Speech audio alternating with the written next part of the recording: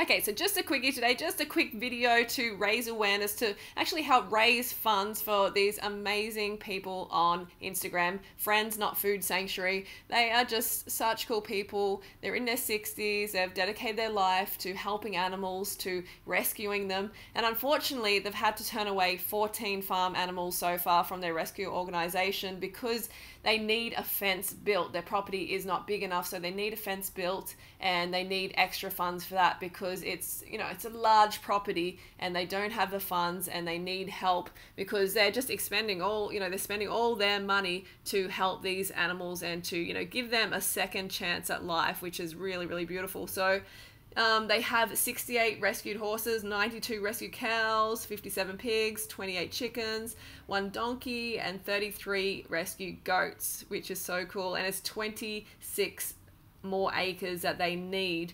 So in closing 20, 26 more acres will allow us to rescue even more. So that's what they want to do. So their heart is just totally in the right place. We want to support these people. This is their Instagram page here. They've got pictures of the rescued animals. There's our little donkey friend. And this is just really beautiful. I love it. Really, really kind people.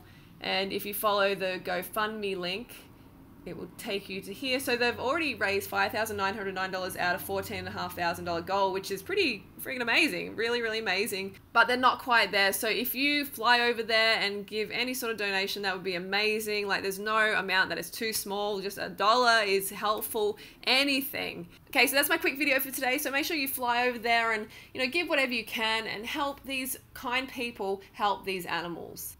So this might be the cutest thing ever, seriously, like the biggest compliment ever. They've actually named one of their baby rescue goats after me. They called her Freelee the Banana Girl, and the caption reads, She loves music, my heart melts every time she plays. We go to the vet for scans tomorrow, wish us luck.